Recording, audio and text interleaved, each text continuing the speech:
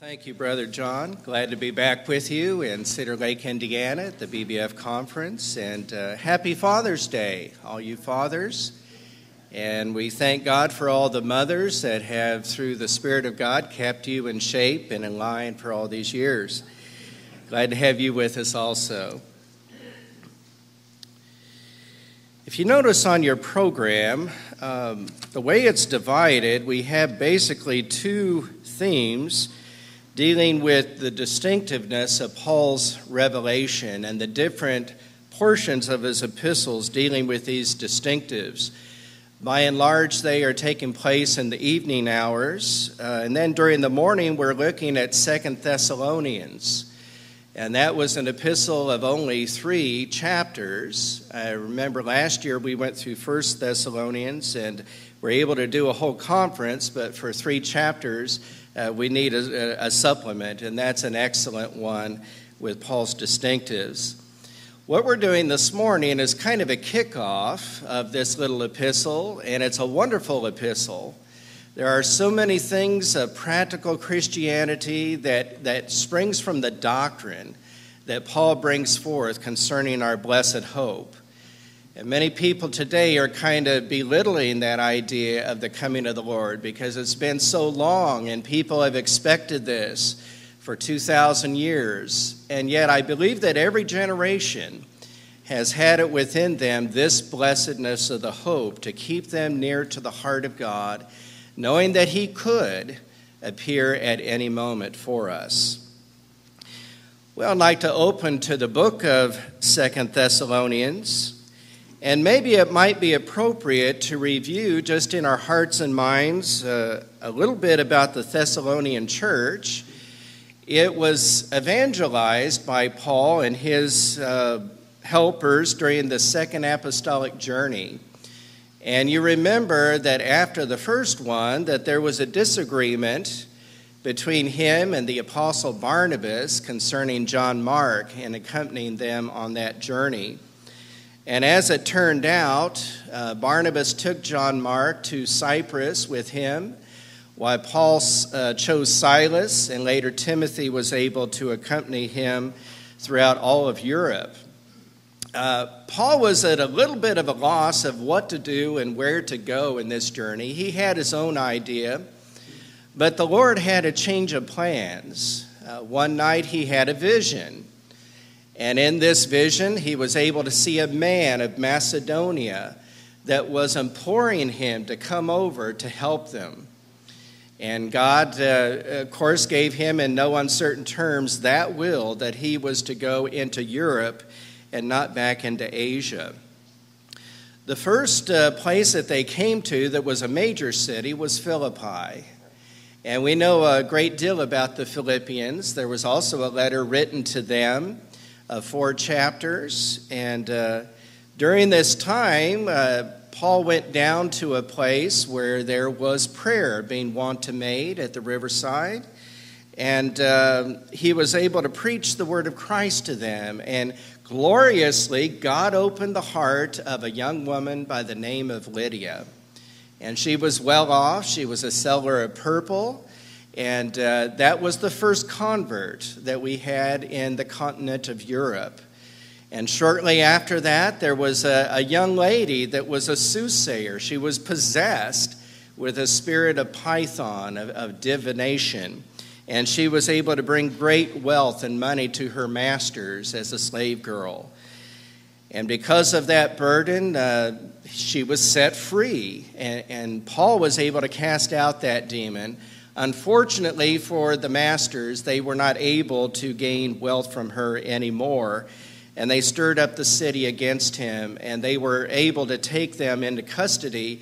And both Silas and Paul were whipped mercilessly because of their stand for Christ. And yet, God was in it. He was working in them and through them for His glory and for man's good. And we saw that there was a great conversion of a jailer and his entire family. And boy, did they show evidence of their salvation. They were able to clean the wounds, and uh, Paul and Barn- uh, Silas were sent on their way. The second place that they came to as a major city was Thessalonica. And as Paul's custom was, he went in to the synagogue, preaching to the Jew first, and on three consecutive Sabbaths, he was able to speak to them concerning Christ, opening and alleging that, that Christ must suffer and that he must raise again from the dead by the power of God and that this Jesus who Paul was preaching was indeed the Christ, the Son of the living God. Well, there was a great conversion there as well. Some of the Jews believed, and uh, as the custom was, or as the, the pattern seemed to be in the book of Acts, there was a great company of Greeks, of Gentiles, that were obedient to the faith. And this became the nucleus of what we now know as the Thessalonian church. We think that perhaps these people were not as noble as the people in Berea. And indeed, the Jews were not. They were not interested in the Word of God uh, as preached through Christ, but they wanted to maintain their tradition. And so they gathered up a great persecution against Silas and against Paul and they were by night they were able to escape their clutches and went into Berea.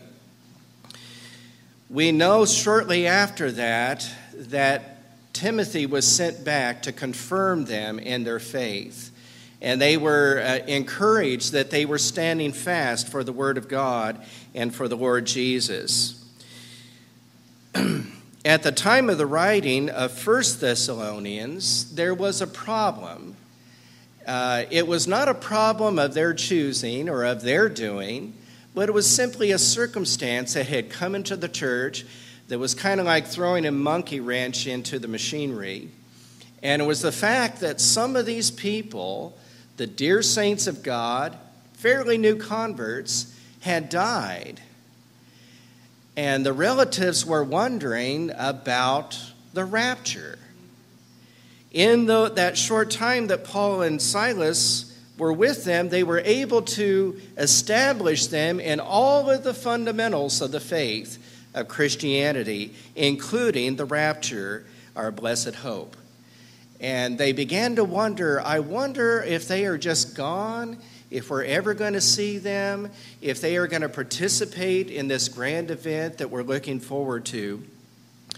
And fortunately, Paul was able to comfort their hearts that indeed they would see their loved ones, that in fact they themselves would be the first ones to rise at the time of Christ's coming, and that they also would be caught up in clouds in the air to be with them. And so should they ever be with the Lord. The scholars tell us that this second epistle was probably written within six months of the first one and there was a related problem with uh, the edification of the saints there. Again, not of their own fault, but uh, actually a letter that had come to their church, supposedly from Paul, that was saying that they had actually entered into the day of the Lord. And that all of the problems and the tribulations and the sufferings were a part of this great and terrible day of the Lord. Of course, Paul had no small dissension and disputation with that idea, and so he wrote this letter not only to give them assurance that that was not the case, but how they should act as children of God in the interim until he comes. So that's where we find ourselves here in Second Thessalonians. Let me read this first paragraph as an introduction to our epistle and bring us up to speed on really Paul's heart for them and where they were spiritually in the Lord. Paul and Silvanus and Timotheus unto the church of the Thessalonians in God our Father and the Lord Jesus Christ. Grace unto you and peace from God our Father and the Lord Jesus Christ.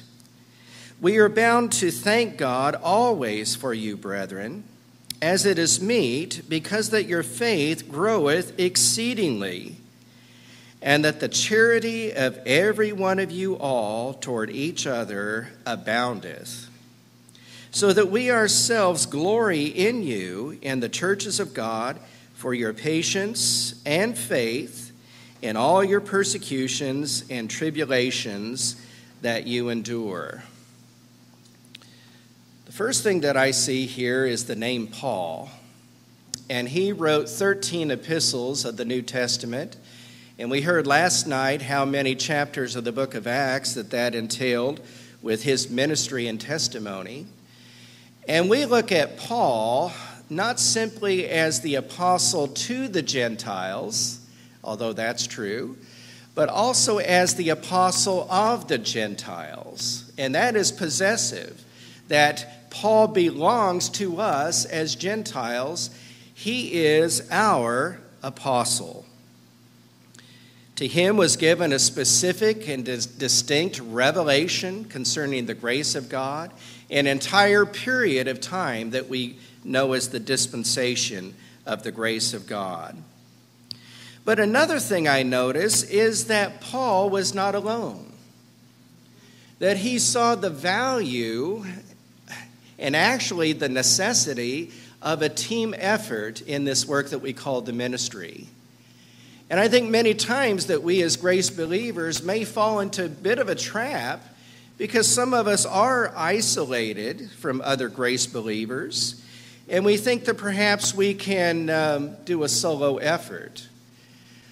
Well, I, I think that there are mavericks out there that are doing a good job for the Lord, according to the grace of God giving to the, given to them.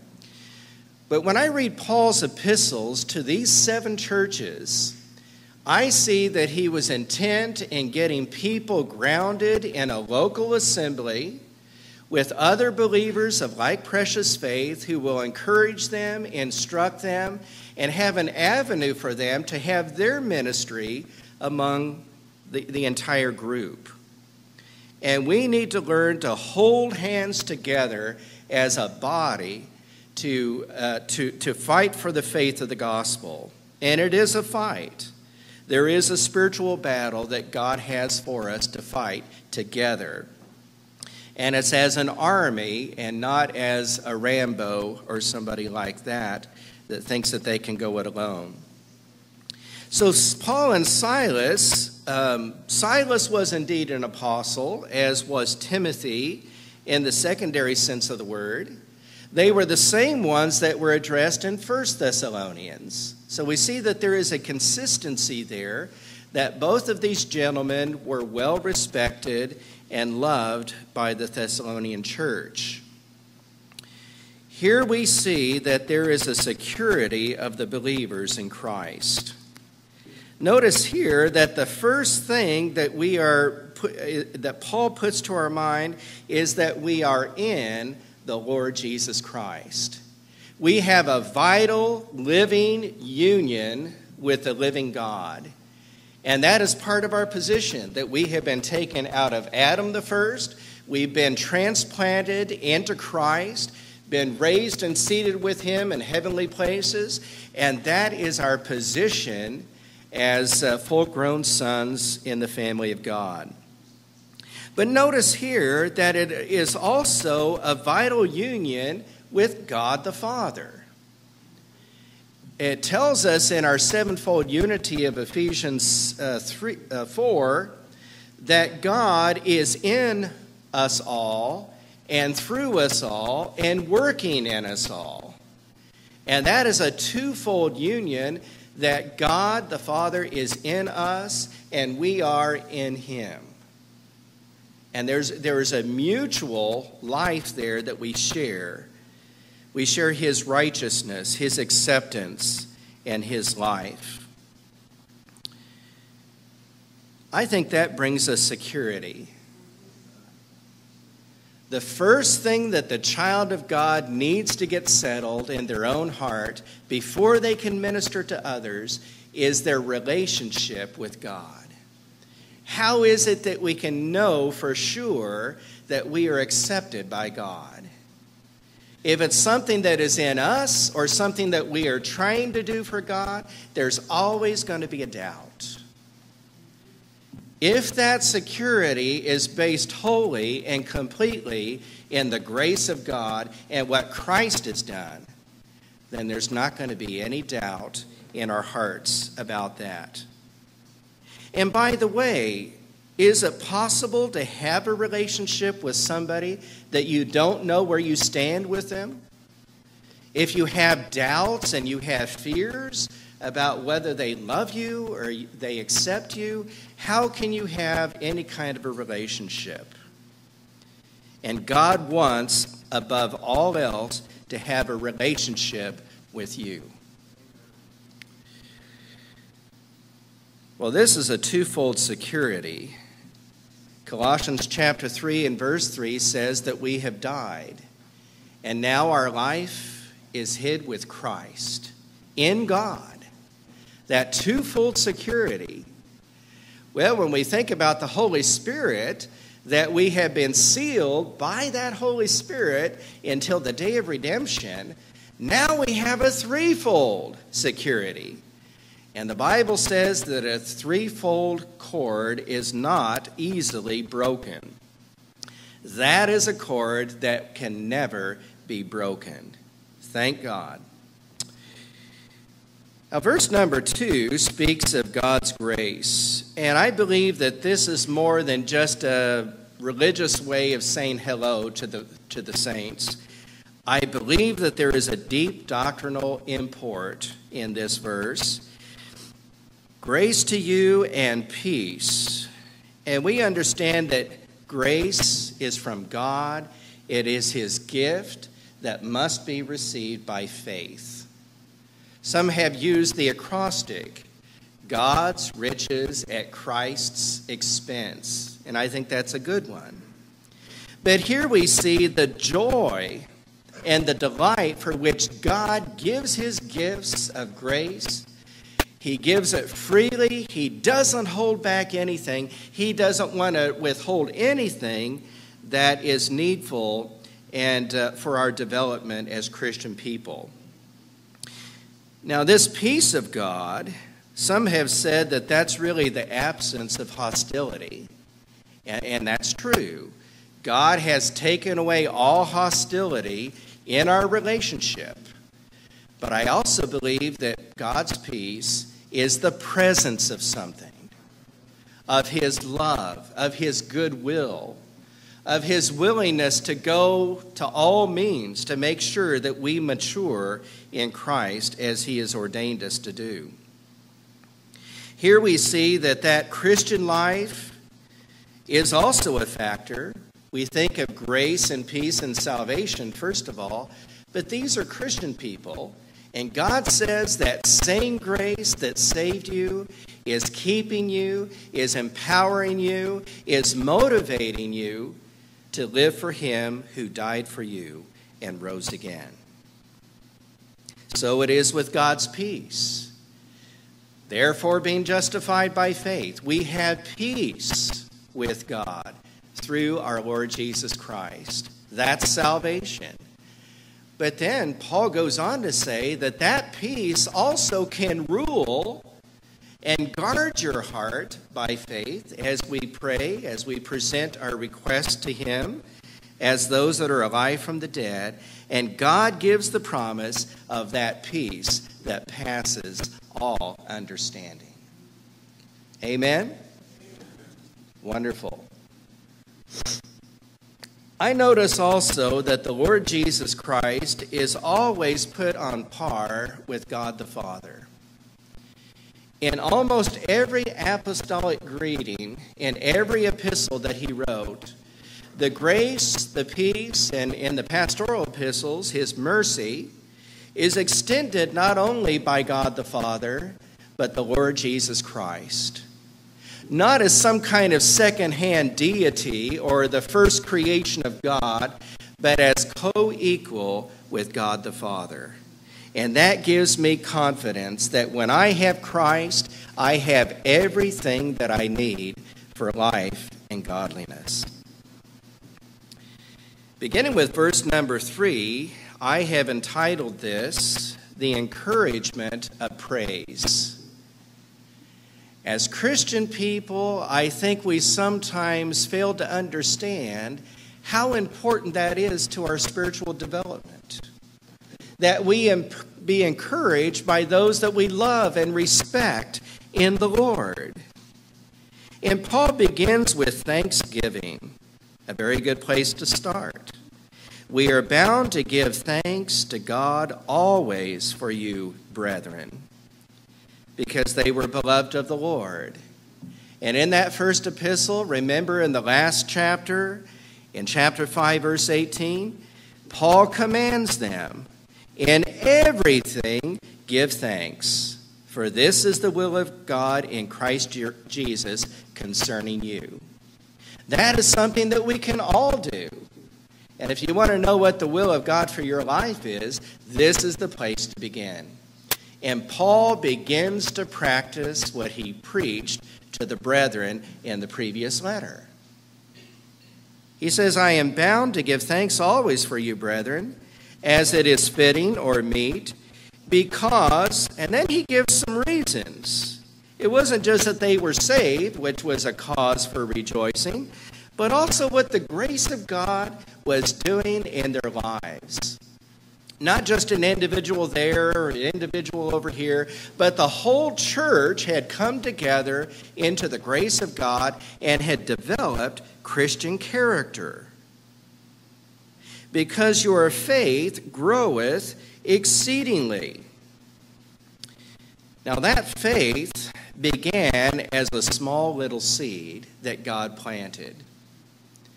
And then God began to water it, to fertilize it, and He used other, other men of God in this. Um, and after just a short period of time, they were growing like weeds. They, they were almost out of control that they loved the Lord so much, and their faith was getting stronger, deeper, more penetrating, and it was having an effect in that church, and it was unity that your faith groweth exceedingly. In the original Greek, that is one word. It's the only place in the Bible where that word is found. And it's a superlative that talks about the overabounding faith that was growing in their lives. Well, that's wonderful to see. As we come back to 1 Thessalonians, here is a parallel passage in which Paul prayed for these new converts. And um, this is a good place to really see how God answers prayer, especially when it comes to spiritual issues. And let me just read this passage here to, to give an overview of where they were and where Paul wanted them to be. 1 Thessalonians chapter 3 Wherefore, when we could no longer forbear, we thought it good to be left at Athens alone. And you remember where Paul went after he left Thessalonica? Yeah, he went to Berea for a short time, and he presented the gospel there. But there's no account of a church being established there, even though they seem to be open with a ready mind to the word. Um, and then he went to Athens, and he was by himself in Athens, and we know that there was very little fruit that was established there uh, because they were they did not have a heart and mind for the gospel. But Paul was still concerned about the new church established in Thessalonica, so he sent Timothy uh, to minister a minister of God and our fellow. Um, and our fellow laborer in the gospel of Christ. Why? To establish you. And that tells me that Paul was not content just to get people saved. He wanted them to be established and that those roots might go deeply into the fertile soil of God's grace and that they might produce fruit. That it might be a, a multiplication of God's grace and uh, when people get saved and excited and established in the faith, that is going to be like a spreading flame in their area of influence. And it certainly was. And also to comfort you, to encourage you, concerning your faith, that no man should be moved by these afflictions. We know the afflictions of the apostles. We read of that in the book of Acts, but not so much about the afflictions of the Thessalonians, other than here in the Thessalonian epistles that tells them that they were under tribulation, under pressure, persecution, and it was so intense that it could possibly be misinterpreted to be the outpouring of God's wrath.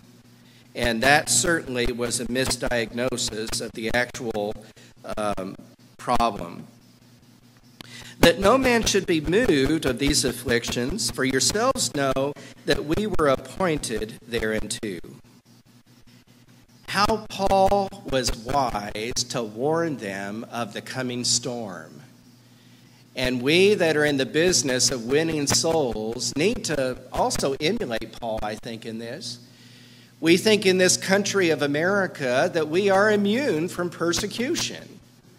And to a certain degree, that has been the case. Uh, we thank God for uh, freedom of religion and freedom of assembly and freedom of the press and so forth.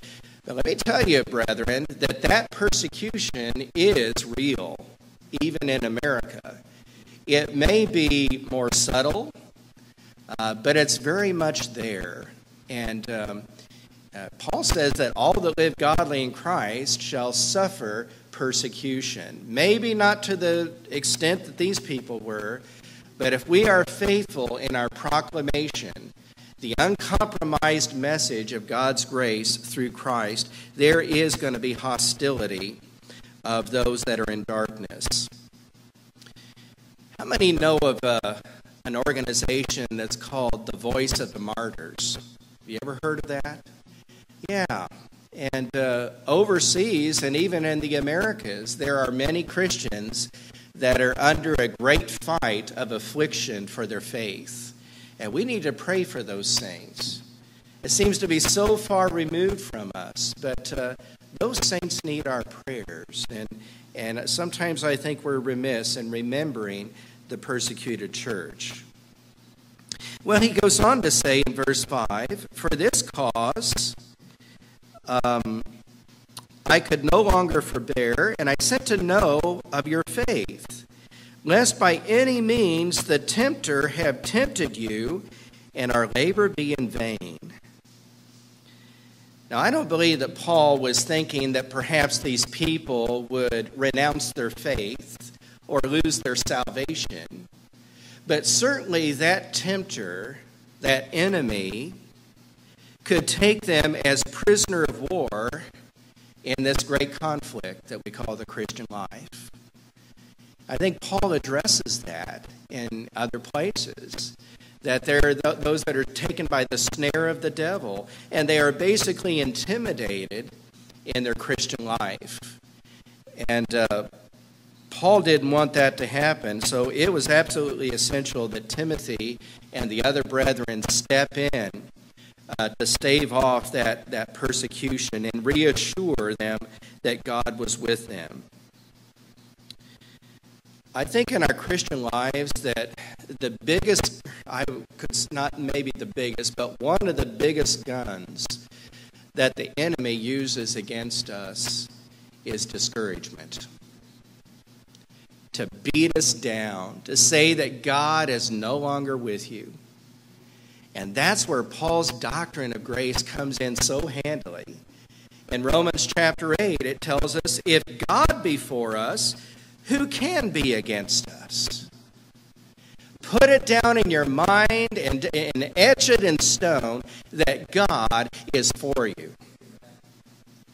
God is for you, not against you and he will never leave you nor forsake you. But now, when Timotheus came unto, you, unto us from you, and he brought us good tidings of your faith and charity, the same things addressed in Second Thessalonians. What was the reaction of Paul? and that you had good remembrance of us always, desiring greatly to see us, and we also to see you. Did you know that the truth brings an affection? That if a person rejects the truth, it's a hostility there. There, there. There's not a relationship there that can be commended.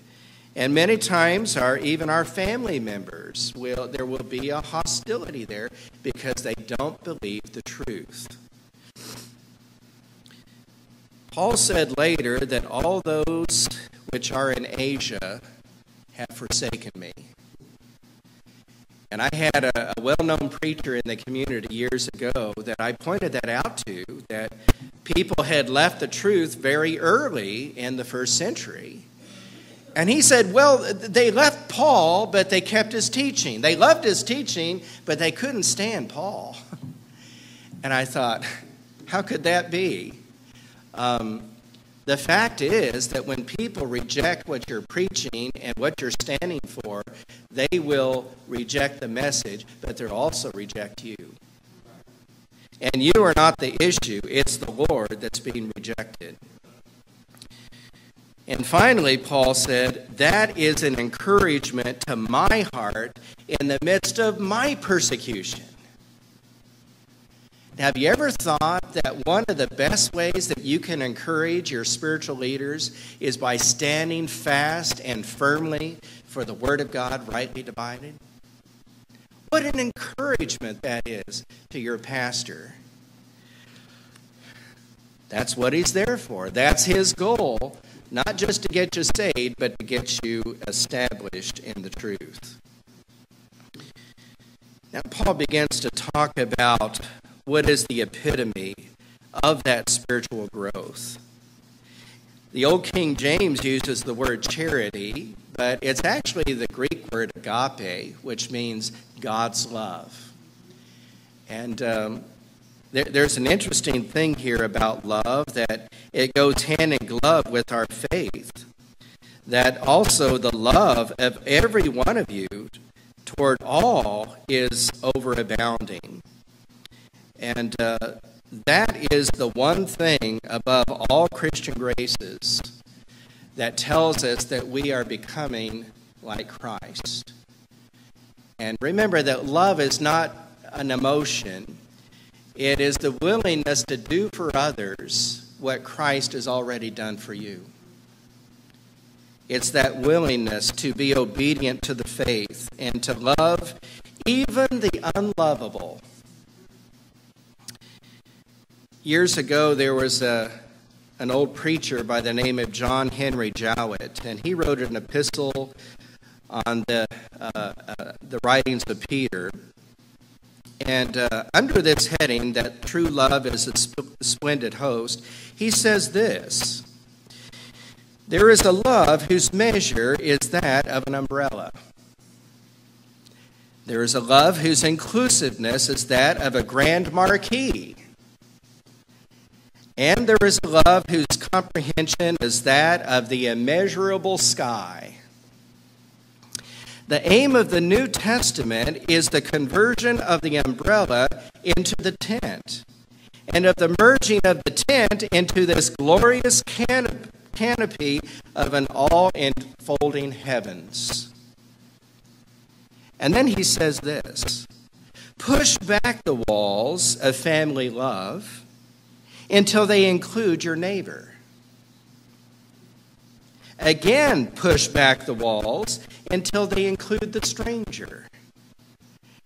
And again, push back the walls until they comprehend the foe. I think of Paul and his dealings with God. Here was a man that was a persecutor. He hated Christians.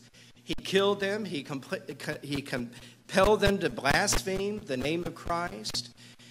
And yet, even in the midst of that hatred and hostility, the chief enemy of God on earth was gloriously saved, and he was turned from an enemy into a friend, into a proclaimer of God's grace.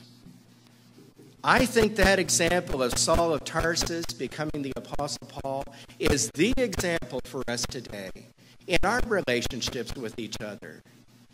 And you can probably think of somebody that just turns you the wrong way, the way they move, the way they talk, the way they address you, and it, you just can't wait to get away from them. Maybe somebody in your church. And uh, it's easy to love the world, and yet um, in our lives, it's, it's, it's, it's the neighbor that throws the limbs over the fence into your yard that's the guy that's hard to love. That God wants us to love the unlovable. We think of 1 Corinthians 13 as the great love chapter in Paul's writings, and it, indeed it is, because there Paul describes what love is and what love does. Some time ago, I came across this quotation. It's from a magazine called the South African Pioneer. I'm not familiar if that's still in publication, but I take it to be a missionary uh, magazine. And uh, whoever wrote this, it, it, was really good, I thought, because it takes 1 Corinthians 13 and puts it into a contemporary setting. He says, If I have the language perfectly and speak like a native, and have not his love for them, I am nothing. If I have diplomas and degrees and know all the up to date methods and have not his touch of understanding love, I am nothing. If I am able to argue successfully against the religions of the people and to make fools of them, and have not his wooing note, I am nothing. If I have all faith and great ideals and magnificent plans, and have not the love that sweats and bleeds, and weeps and prays and pleads, I am nothing. If I give my clothes and my money to them, and have not his love for them, I am nothing. If I surrender all prospects, leave home and friends, and make the sacrifices of a missionary career, and turn sour and selfish amid the daily annoyances and the slights of the missionary life, and have not the love that yields its rights, its leisures, its pet plans, I am nothing. Virtue has ceased to go from me if I can heal all manner of disease and, and, uh, and sickness, and yet wound hearts and hurt feelings for the want of God's love that is kind, I am nothing. If I can write articles and publish books and win, win applause, but fail to transcribe the word of the cross into the language of His love, I am nothing. Yes, love gives, it is self sacrificial. And we have to give up something to really love as Christ has loved us. It is also unconditional. God never says, I'm going to love you if you do this, this, and that, and that. He says, I love you just because I love you. That's who I am. And Paul tells us that the love of Christ has been shed abroad in our hearts by the Holy Spirit.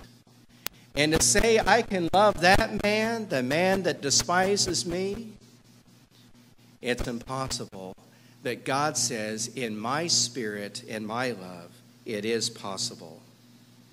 There is a remedy, people, and it's Christ.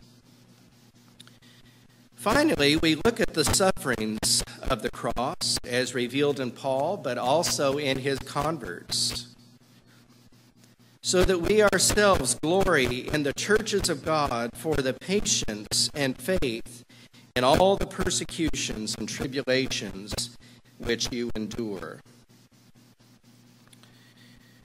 This little word glory is uh, very interesting. It's sometimes translated to boast or to brag sometimes is translated to rejoice.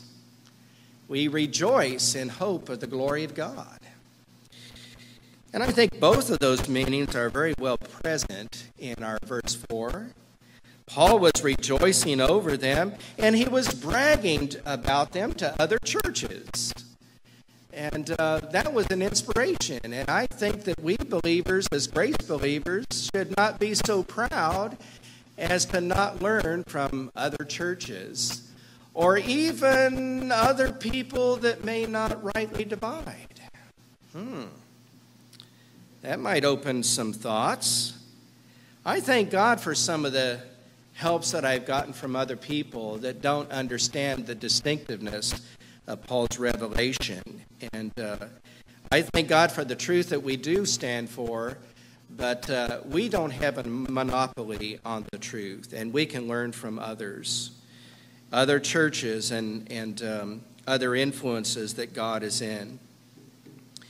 And when I think of God's suffering, I, I think of the statement that, that Paul made that he that glories, let him glory in the Lord.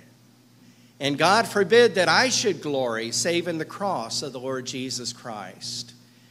And no matter what Paul did, he never gloried in the flesh. He always hid himself behind the cross and allowed the glory of God to shine through. And you might say, well, maybe Paul is out of character here for boasting about these people. But I tend to believe that when Paul saw that which was praiseworthy in them, he was actually seeing Christ in them, living in them and through them for God's glory. And so it's not a contradiction. And I think that maybe it's not beyond our means to commend others that are standing fast for the Lord and are living a life consistent with God's grace. Not that we glory in the flesh, but what God is doing in their lives.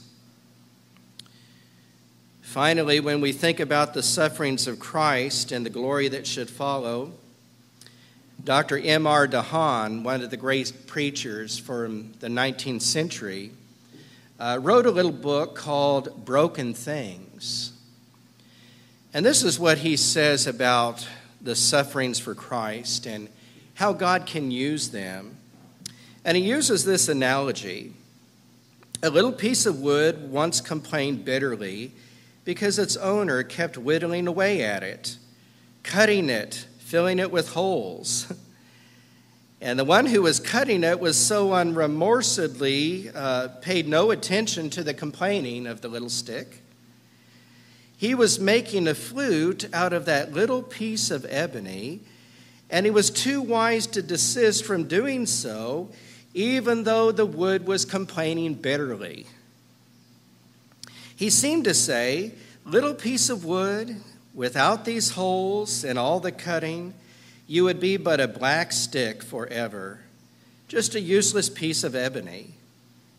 What I am doing now may make you think that I am destroying you, but instead I will change you into a flute and your sweet music will charm the souls of men and comfort many a sorrowing heart. My cutting you is the making of you, for only thus can you be a blessing to the world.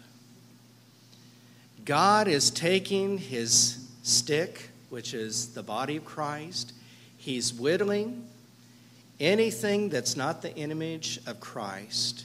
And he's taking that dross and he's doing away with it through pain and suffering and tribulation. And we may not be suffering as these believers are, but we all have our pain, don't we? Maybe you're here without, you've lost your job. Maybe there's been a devastating diagnosis of some illness, and it's not one that's easy to treat.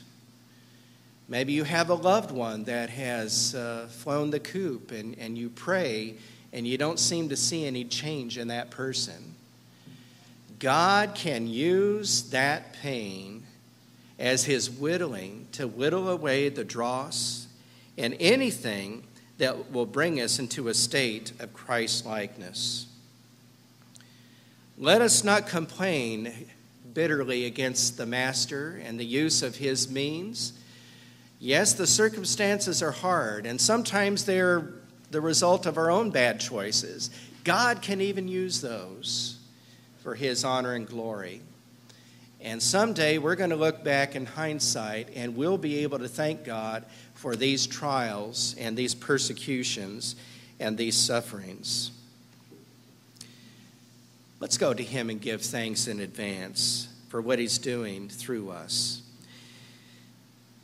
Our dear Heavenly Father, as we think of the introduction to this blessed epistle, we think of how far you have brought us through all the trials and the vicissitudes of our life.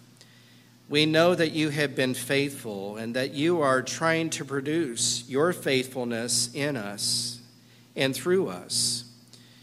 We know many times that you choose to do that through the cauldron of suffering whether it be for the name of Christ, whether it be physical sufferings or just emotional ones, we pray that we not balk at your means that you have chosen to make us into a beautiful flute that can make music for your honor and glory.